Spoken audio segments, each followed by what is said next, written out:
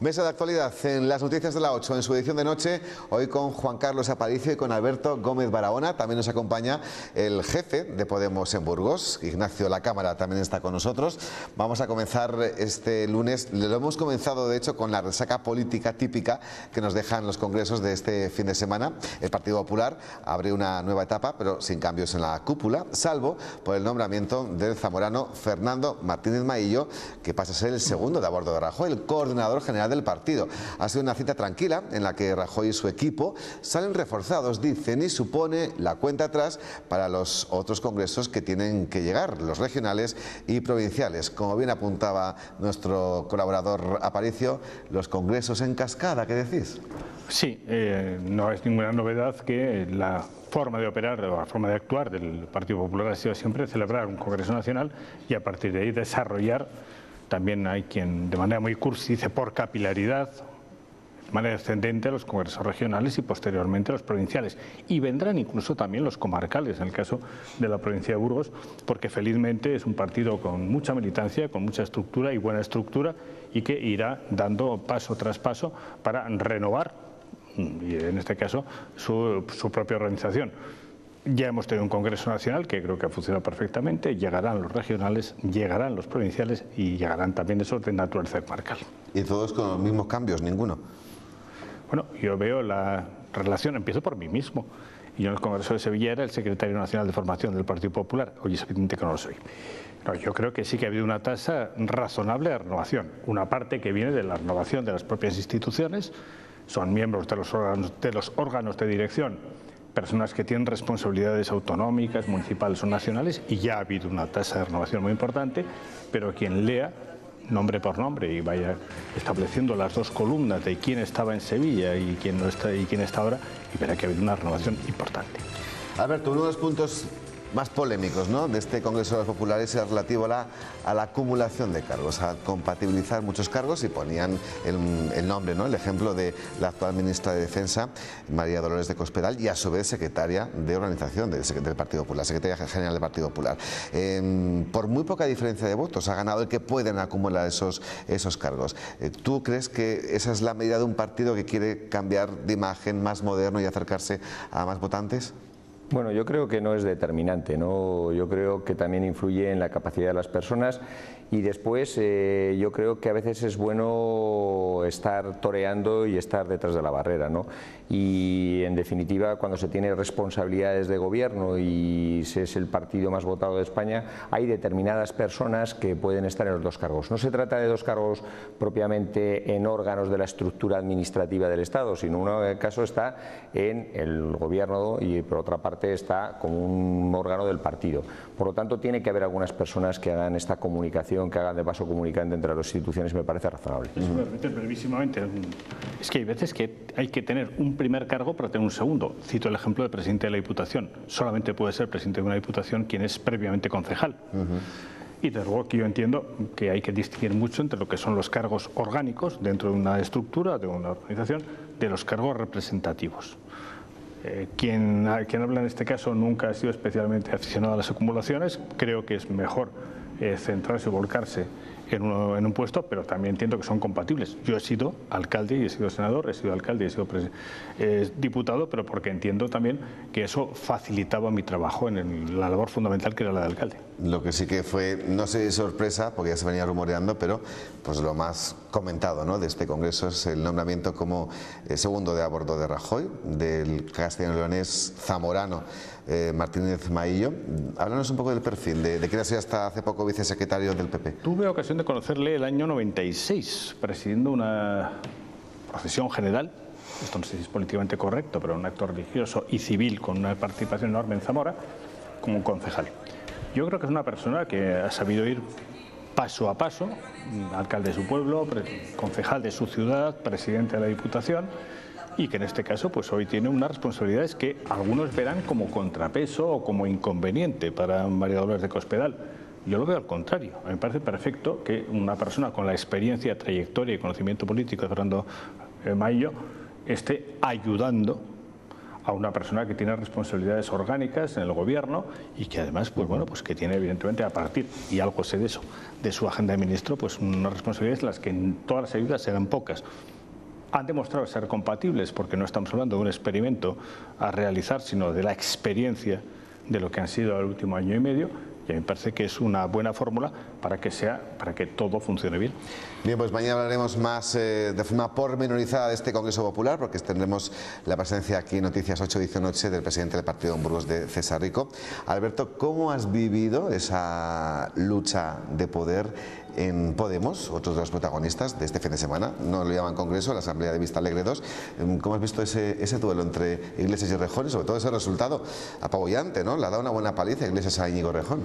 Bueno, pues lo he visto sentado en mi sofá leyendo la prensa con toda la tranquilidad del mundo y, bueno, pero era un congreso que tenía su relevancia. ¿no? Yo creo que era importante conocer eh, cuál era eh, el planteamiento ideológico en el que pasaba a ocupar Podemos. ¿no? Y yo creo que había dos planteamientos que que significaban dos formas de hacer política y que a los ciudadanos nos importan, ¿no? Eh, porque todo el espectro democrático, lo que opinan los partidos, lo que, cuáles son sus políticas, nos afectan a todos y todos lo seguimos. ¿no? Se ha impuesto una posición que es una posición que más allá de hacer eh, o centrar la actividad política en las instituciones, parece que se centra más en la calle, en el papel de la movilización, en el papel del compromiso. Y bueno, es una forma de hacer política eh, que a, veces a algunos ciudadanos pues nos ha preocupado porque a mí nunca me ha gustado eso de la calle es de alguien, ¿no? No me gustaba ni cuando Fraga dijo la calle es mía, ni tampoco me gusta cuando dice que hay que llevar la política a la calle. Yo creo que, la calle es de los ciudadanos, donde paseamos, donde nos comunicamos, donde y que eh, en las sociedades democráticas y organizadas pues hay unos canales institucionales, ¿no? Pero dicho esto, eh, es simplificar, yo reconozco que es una simplificación. Y entonces, bueno, yo creo que ha servido para definir cuál es el espectro político y cuáles son los planteamientos ideológicos. ¿no? Yo creo que este planteamiento posiciona al Partido Socialista en una posición de centro-izquierda que, le centra un poco más al Partido Socialista, que los planteamientos de Podemos son unos planteamientos más próximos a movimientos populistas que recuperan ciertas tradiciones de la izquierda española, sobre todo de la transición, eh, en el que la calle, la asamblea tenía un protagonismo especial. Y bueno, pues hay una definición de espectro. Yo creo que la izquierda la, la ocupa Podemos con un planteamiento más de calle, más asambleario, más de un movimiento tradicional de la izquierda. Al Partido Socialista lo centra más en el centro izquierda. Y bueno, pues es una definición, yo creo, más clara de, la izquierda española. Pues lo cierto es que Podemos también inicia una nueva etapa con un secretario general aún más reforzado. Pablo Iglesias se ha impuesto y con mucha diferencia a Íñigo Rejón y ese liderazgo tiene también su reflejo en la dirección del partido a pesar de que Iglesias ha logrado colar a más representantes que su rival en el Consejo Ciudadano, estarán el diputado por Burgos, Miguel Vila, y el eh, exprocurador Pedro María de Palacio, ambos en la lista de Rejón. Quien sí estaba en la lista del ganador de Pablo Iglesias es nuestro invitado Ignacio La Cámara, secretario provincial de Podemos Burgos. Enhorabuena porque eh, Podemos, bueno, eh, personalmente tú ibas en la lista de, Pablo Iglesias, ¿no? ¿no? No, yo no estaba en la lista, yo no era candidato. apoyabas a Pablo Iglesias, ¿no? No, yo no, yo no era candidato candidato en este proceso, eso quiero dejarlo claro. ¿eh? Yo, no era, yo no era candidato, yo soy secretario general de Podemos Burgos y no era candidato al Consejo Ciudadano Estatal. Bien, es cierto que había dos compañeros de, Burgos eh, que iban en la lista de Íñigo de Rejón y que han sido elegidos al Consejo Ciudadano Estatal, pero yo no, yo no era candidato. Yo como secretario general yo manifesté... Eh, el respeto a la diversidad eh, de los inscritos en Podemos Burgos, de, su derecho y todo el respeto a presentarse en las diferentes listas, como han sido dos, dos compañeros y estoy contento de que hayan sido elegidos. Sí, pero mm, puestos a elegir, y lo has tenido que hacer para votar, tú eres más cercano a Pablo Iglesias. Vamos a ver, yo manifesté públicamente que mi secretario general era Pablo Iglesias, pero es que hay que recordar que los candidatos a secretario general era Pablo Iglesias y otro compañero de la corriente anticapitalistas. No era Íñigo Rejón candidato a, Secretaría General. Eso tiene que quedar muy claro para, para los televidentes. ¿Cómo valoras el espectáculo que ha dado tu formación antes de esta asamblea? Pues lleváis unas cuantas semanas que, bueno, dimisión de Cabina Vescansa, etcétera. Es decir, un partido tan nuevo con cosas ya de los viejos en tan poco tiempo, ¿no? No, yo creo que no es una cuestión de viejo nuevo. Eh, somos una formación muy joven, bien es cierto. Eh, yo creo que fue Carolina la que dijo que teníamos un problema de, adolescencia y crecimiento. Es decir, quizás hemos tensionado demasiado el, debate en los últimos meses, no, no, lo voy a negar. Yo he recogido opiniones de, muchos compañeros y compañeras que lo han manifestado, así que no, que no les ha gustado quizás la tensión con la que se ha llegado a, a este momento del Congreso. No obstante, también quiero poner en valor que se ha discutido de todo, que no se ha quedado nada en la recámara, que hemos hablado de propuestas, de documentos, de aportaciones, de los círculos de los eh, consejos ciudadanos, de, la sociedad civil que han hecho sus aportaciones y que ha sido realmente muy enriquecedor desde el punto de vista democrático mm, si lo ponemos en relación, por ejemplo, lo que ha sido con el Congreso del Partido Popular, que ha sido una balsa de aceite en ese sentido, de acuerdo, pero yo creo que hemos salido muy reforzados dentro del debate, del debate democrático, hemos salido con, con, unidad en el fondo, es lo que, lo que la gente en, Vista Alegre gritaba, yo creo que ha salido los medios de comunicación y lo que reclamaba a, nuestros líderes de la organización, ¿no? la, unidad en la diversidad, pero la unidad. Seguro que a ti también te habría gustado que vuestra asamblea fuera una balsa de aceite. ¿Nuestra asamblea? Que fuera también una balsa de aceite, como la del Partido Popular, ¿no? Bueno, eh, vamos a ver, eh, las circunstancias y los contextos son, son diferentes. Hemos eh, recorrido durante tres años un camino muy difícil y, algo que no existía hace tres años tiene cinco millones de votos. Eso hay que ponerlo, hay que ponerlo en valor y articular una, una fuerza de cambio como es, como es Podemos, pues no es sencillo, no lo vamos a negar pero, pero dicho esto, repito, poner en valor el ejercicio de democracia y de planteamiento y de decir todo y de discutir todo y de llegar a acuerdos fraternos como ha sido al final. Perfecto. Quiero aprovechar, Juan Carlos, tu, tu estancia aquí, eh, sobre todo por tu experiencia de tantos años, ¿no? para saber, ¿en política uno penaliza al que se pone delante y no gana?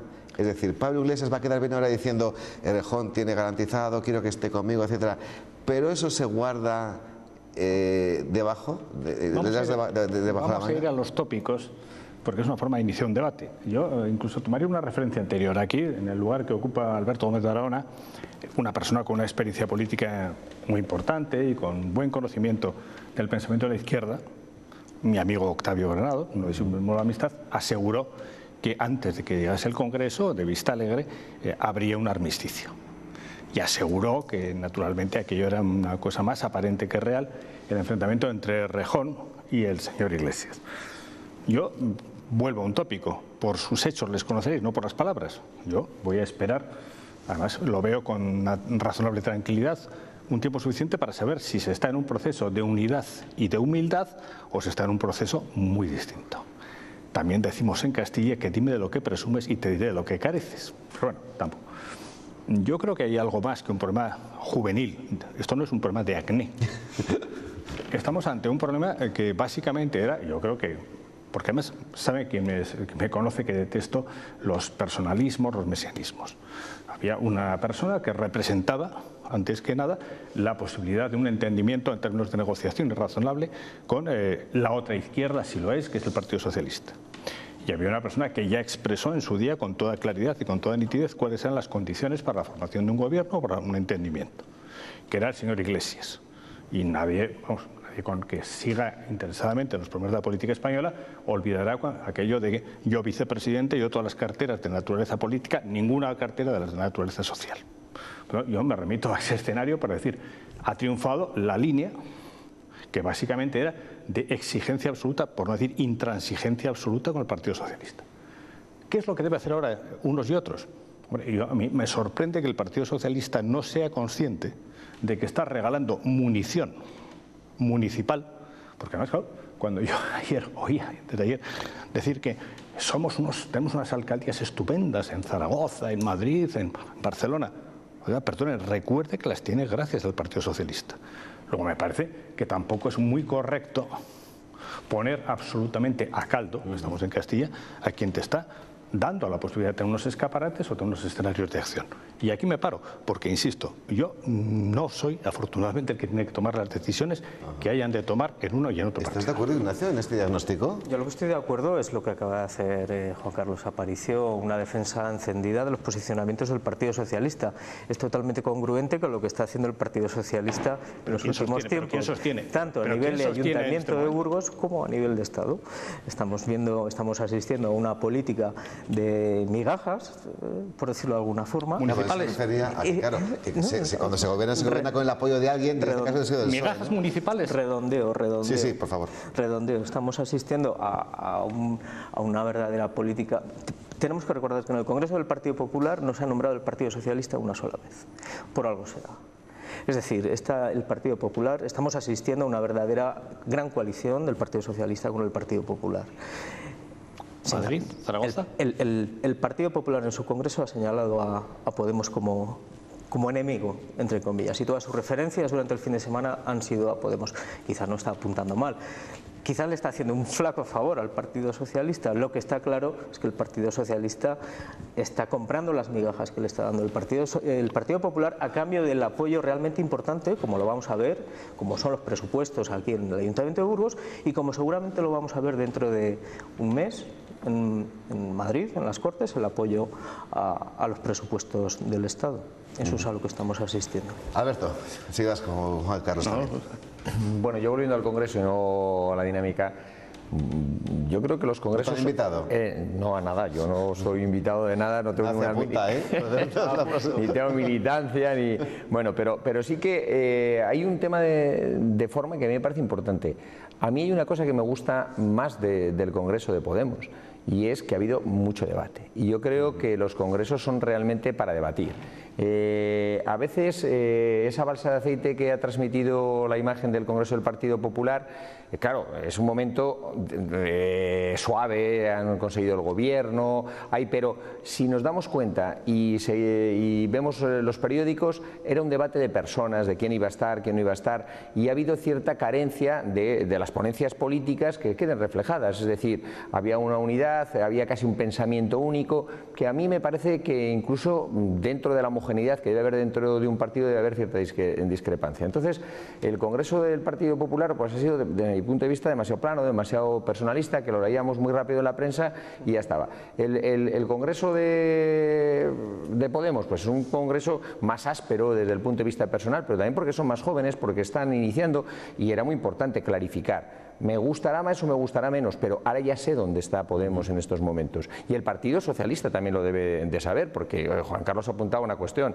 es decir, igual el propio Partido Socialista apoyando está haciéndose un flaco favor porque hay unos posicionamientos más lejos. Pero a mí lo que creo que ha servido, ha habido debate, hay claridad, hay planteamiento ideológico más claro y desde ese punto de vista es de agradecer eh, la claridad que ha tenido. Juan Carlos, te pido brevedad, estamos terminando. Absoluta. Lo de la viga y la paja, es que a mí me sorprende que cuando se están gobernando las principales ciudades de España, gracias a un apoyo incondicional hasta la fecha del Partido Socialista, luego se denoste al Partido Socialista. Esto me parece que no es especialmente coherente. Porque ciertamente, si la señora Carmena es alcaldesa, o si el alcalde de Zaragoza es alcalde de Zaragoza y una serie de ayuntamientos, es por el Partido Socialista. Y esas son coaliciones reales, formales, en las que ya ha habido un apoyo real y explícito. No estoy hablando de una abstención, estoy hablando de un apoyo real y explícito. Y a partir de ahí eh, lo de la viga y la paja me parece que es un clásico también. O sea, ¿por qué voy a criticar tanto lo que puedan ser acuerdos necesarios en este caso? No digo para España, sino para bien de la Unión Europea. ¿Por qué se va a criticar eso y se va a obviar lo que me parece que en este caso es lo más sólido y más contundente. Quiero aprovechar la presencia de Ignacio porque vais a convocar a los medios para mañana, creo, una rueda de prensa para hablar del presupuesto del Ayuntamiento de Burgos. ¿Qué valoración hacéis del mismo, Ignacio? Bueno, pues... ¿Y en calidad de eh, qué habláis? Bueno, pues eh, lo haremos mañana, en principio, en rueda de prensa. Adelántanos algo si quieres. Y, eh, en calidad de qué? Bueno, pues nosotros creemos que Podemos en Burgos tiene que tener una voz propia. nuestro referente es Imagina, pero creo que tenemos que tener una voz propia en los asuntos más importantes que ocurren en la ciudad. Creo que tenemos derecho a ello y lo ejercemos y así lo, lo venimos haciendo en los últimos meses. Em, en cualquier caso, mm, quiero señalar un poco en la línea de lo que ya ha manifestado eh, Imagina, em, poner encima de la mesa las contradicciones. Tomando la palabra lo que acaba de decir Juan Carlos Aparicio y echando ese capote que está echando al PSOE, lo puede hacer con mucho, con mucha razón, porque ese mismo Partido Socialista es el que le está echando el capote al Partido Popular en el Ayuntamiento de Burgos para sacar adelante unos presupuestos y consolidando un ayuntamiento muy débil de Javier Lacalle y el Partido Popular. Pasa que llama la atención que, imagina Burgos en este caso, para muchos podemos, para otros no, siempre estamos en, esa tesitura, ¿no? Eh, no haya presentado ninguna enmienda, es decir, eh, lleva votando no por sistema a todo. ¿Eso realmente se tiene que hacer así, si hay responsabilidad? Bueno, es que es un proceso que eh, es un proceso que tiene recorrido, que tiene recorrido todavía, que podía haber sido de otra forma que podía haber sido de otra forma, lo que no aceptamos es la inevitabilidad, como se nos está presentando este proceso, por parte de la dirigencia del Partido Socialista, sobre todo, y del Partido Popular. Eh, apelar al, argumento de la responsabilidad, nosotros decimos que no, que no, que no, es, que no, es, real, que la responsabilidad era buscar alternativas y había otras alternativas. Bien, pues Ignacio La Cámara, secretario general de Podemos en Burgos, ha sido un placer recibirte. Imaginamos que novedades habrá en las próximas semanas, ¿no? Con a raíz de esta asamblea de Vista Alegre 2? Eh, Internas para, para, para, para Podemos, ¿no? Pues a nivel local. Sí. No, a nivel local en principio no. Nosotros hicimos nuestro proceso interno en noviembre y no tiene por qué haberlas. Otra cosa es la, la distribución eh, autonómica. A eso me refería. que tendrá, tiene sus ritmos diferentes.